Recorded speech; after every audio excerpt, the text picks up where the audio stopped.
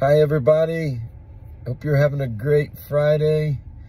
And this is Von. I'm coming to you today. It's January 19th, 2024. This is the Heart of God for the Nations Daily Scripture. And we are in exciting uh, passage today in Exodus chapter 12, verse 29.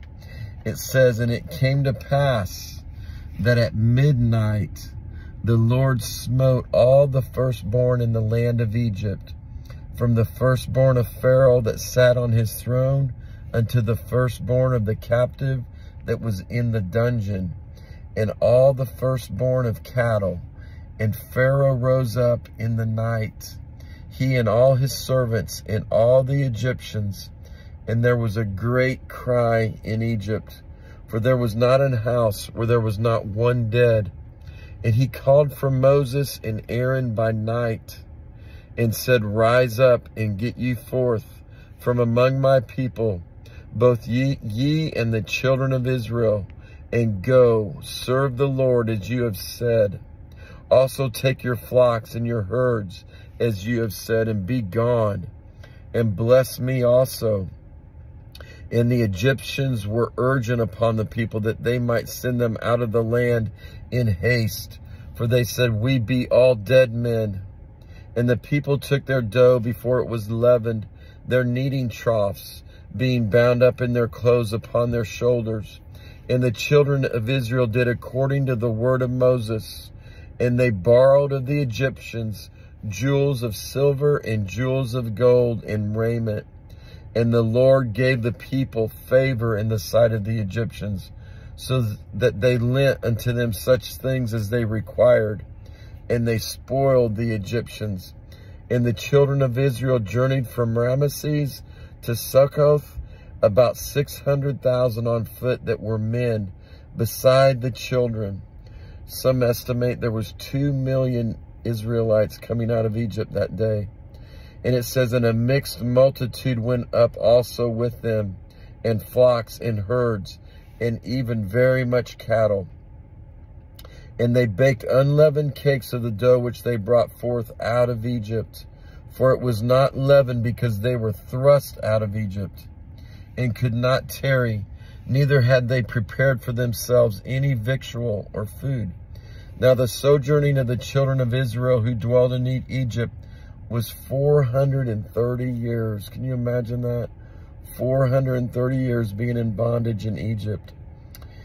And it came to pass at the end of the 430 years, even the self same day, it came to pass. That's what really stuck out to me. That God has a day planned. Amen. Soon and very soon, he's going to take us out out of Egypt, out of this world in haste. We're going to be thrust out in the twinkle of an eye. Amen. And it says, even the self same day it came to pass that all the hosts of the Lord went out from the land of Egypt. All the hosts, all the people of, of the Lord went out from the land of Egypt. It is a night to be much observed unto the Lord for bringing them out from the land of Egypt. And when the rapture happens, people are going to remember that day or that night. It could be at midnight, the midnight cry, when that trump, last trump shall sound. But people will remember that day for infamy. Amen. This is that night of the Lord to be observed of all the children of Israel in their generations. And our prayer today is, Oh, Father God, there is a night coming you have a day prepared. There is a time that has been set aside for you to bring out your people from the land of Egypt. At the midnight, at the midnight hour, the trump shall sound. The dead in Christ shall rise first. Then those who remain and are alive shall be caught up together in the clouds to meet the Lord in the air. So shall we ever be with the Lord. Egypt or the world will be destroyed. The people will be spoiled. Jesus, your bride, shall be arrayed in gold and silver and every precious stone. The rapture of your church will have taken place. The great catching away of your people will have occurred. That self same day will have come to pass. There is a night coming soon. There is a day that has been prepared. There is a time that has been set aside for you to bring out your people from the land of Egypt. Amen. It's soon and very soon. We all can see the signs of the times, can't we? Ecclesiastes 3.1, it says, To everything there is a season and a time, to every purpose under the heaven. In Habakkuk 2, verse 1, it says, I will stand upon my watch and set me upon the tower and will watch to see what he will say unto me and what I shall answer when I am reproved. And the Lord answered me and said, Write the vision and make it plain upon tables, that he may run that readeth it. So the vision that we're coming to you with, the message, is that soon the rapture is going to take place. And it's really going to happen. Amen. Even the Egyptians waited 430 years. But there was a set time. There was the self same day that God did it and took them out of Egypt. Amen. And it says, write the vision and make it plain upon tables that he may run that readeth it. For the vision is yet for an appointed time, but at the end it shall speak and not lie. Though it tarry, wait for it, because it will surely come. It will not tarry. Behold, his soul which is lifted up is not upright in him, but the just shall live by his faith. And we have faith that Jesus is soon going to appear in the clouds and catch away his bride. Amen. And we all want to be part of that, don't we? And then Second Peter chapter 3, verse 2. It's kind of a long passage, but it's pretty awesome. It says that ye may be mindful of the words which were spoken before by the holy prophets and of the commandment of us, the apostle of the Lord and Savior, knowing this first, that there shall come in the last days scoffers, walking after their own lusts and saying, Where is the promise of his coming? For since the fathers fell asleep, all things continue as they were from the beginning of the creation. For this they will willingly, for this they willingly are ignorant of, that by the word of God the heavens were of old, and the earth standing out of the water and in the water, whereby the world that then was being overflowed with water perished but the heavens and the earth, which are now by the same word, are kept in store, reserved unto fire against the day of judgment and perdition of ungodly men. But beloved, be not ignorant of this one thing, that one day is with the Lord as a thousand years, and a thousand years as one day. So the Lord, it's been 6,000 years since Adam and Eve, or six days. It's been 2,000 years since the birth of Jesus, or two days. In the third day, Jesus is going to come and rapture us out. The seventh day, the last thousand years, he's going to rule and reign as Lord from earth, from Jerusalem. Amen. While Father God rests on that seventh day. And it's soon and very soon because we're coming at the end of that 2,000 years since Christ was born. Amen.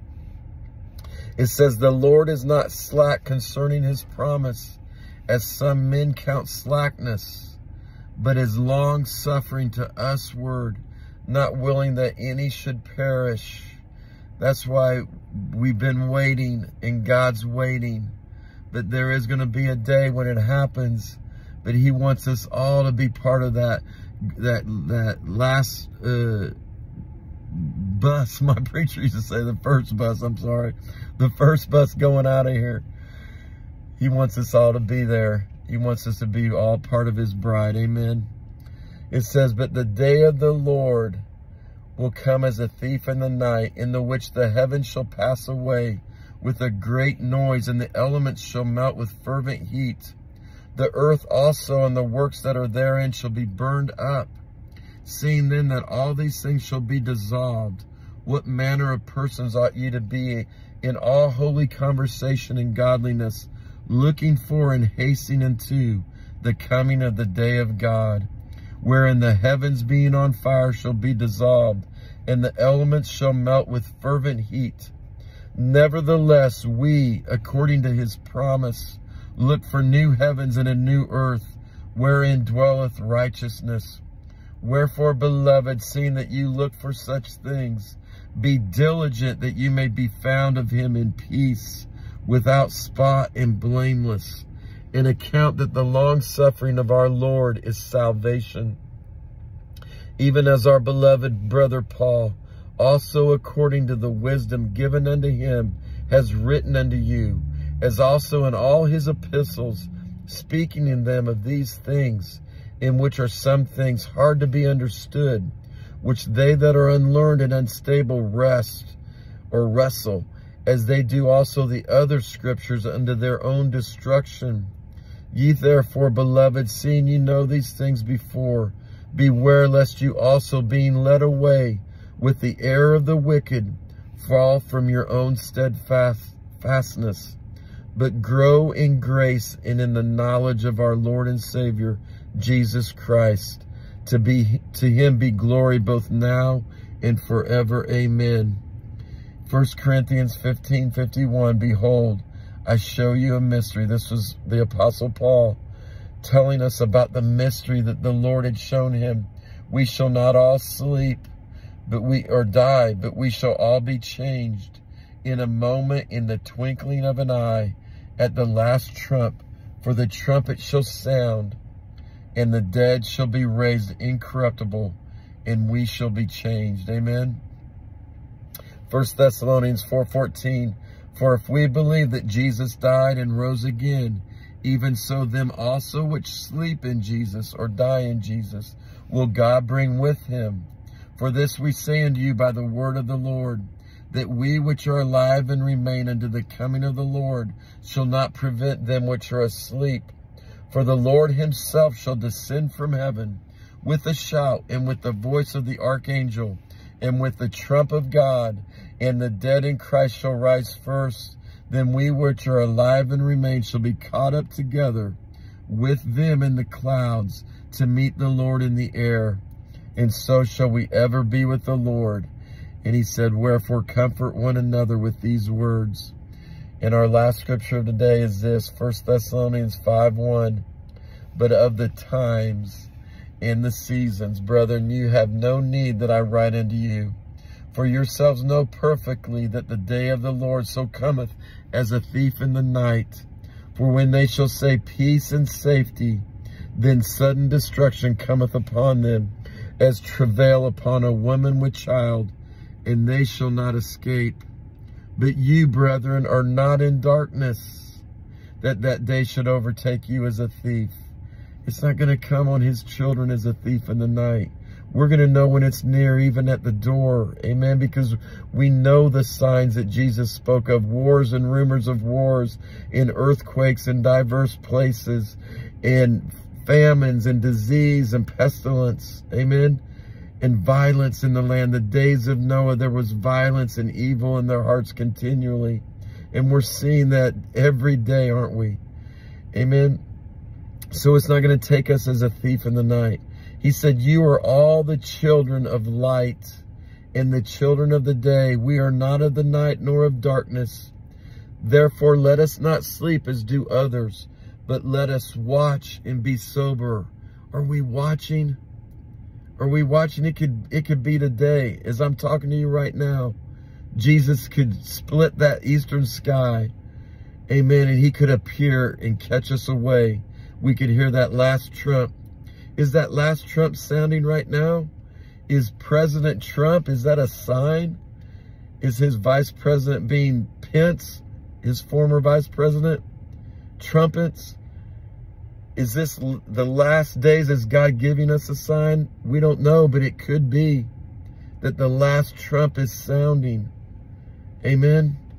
It says, but let us watch and be sober, for they that sleep, sleep in the night, and they that be drunken are drunken in the night. But let us who are of the day be sober. He keeps saying that, be sober, be sober. Putting on the breastplate of faith and love and for an helmet the hope of salvation. God's going to save us from the destruction coming upon the earth. Amen. He says, for God has not appointed us to wrath. The seven-year tribulation is God's wrath coming upon the earth, Right now we are feeling his judgments. His judgments come with mercy because his judgments awaken us and causes us to turn back to God. But when that rapture happens, his wrath will be poured out. Amen. The first wave, a third of the world will be killed. The next wave, another third of the world will be killed. So that if we roughly have seven, eight million, a billion people in this earth, we're talking about 5 billion people being killed in a seven year period. Amen. That's God's wrath being poured out. And we don't want to be here, do we? It says, For God has not appointed us to wrath, but to obtain salvation. How? By our Lord Jesus Christ.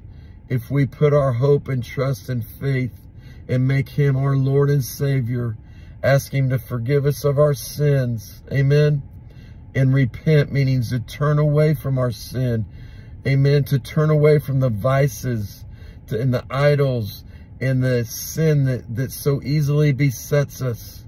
If we turn away and ask Jesus to be the Lord of our life, to take the steering wheel, amen, then we, we will escape that wrath that's coming and will obtain salvation, right?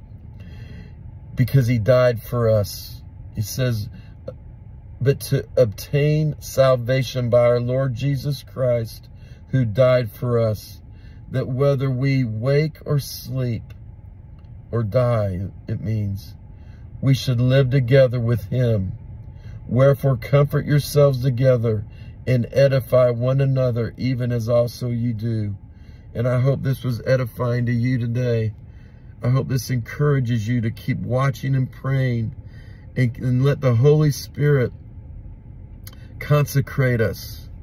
Amen. And take those spots and wrinkles out and help us to be that beautiful bride Jesus is coming for. And I hope and pray that, that we'll be ready. Amen. And Lord willing, I'll do this again tomorrow. And God bless. Have a great Friday evening and have a great weekend. Okay. We love you all. God bless you. Mm, bye-bye.